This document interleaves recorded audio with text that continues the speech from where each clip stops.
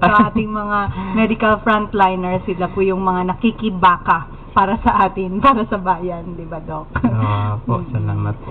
Iba yung sakripisyo na binibigay nyo, Doc, kasi buwis buhay din po. Opo, eh. kasi during that time, ah, hindi rin po, ah, pinili din po yung mag ah, duty doon kasi there are doctors na ah, some of them have comorbids. Mm. ah, sakit po sila kasi we know na once na nahawa po ng COVID, ah, ang isang patient, lalo na kung mataas ang edad, at the same time may mga sakit na iba, ah, mas pangit po yung outcome nila. So, Mm. kaming mga young and healthy doctors, ah, Mm. mostly nag-volunteer doon. Mm-mm. Kasi there are doctors na they are willing to sacrifice, pero medyo hindi na po Qualified. okay ang katawan nila. So, Mm-mm. it was safer na kaming mga younger ones ang Mm-mm. Ang mag mag-duty doon.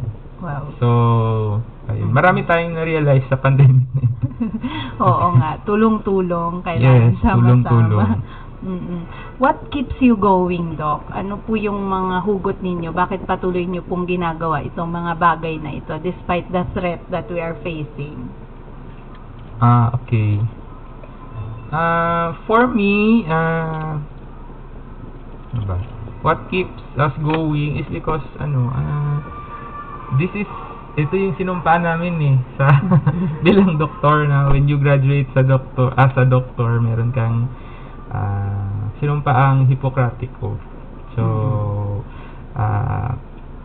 Pag- kasama doon sa sumumpa ka na na during times na kailan mong tumulong kasi meron kang skills eh. Meron kang alam meron kang skills and walang ibang gagawa niyan kundi kami.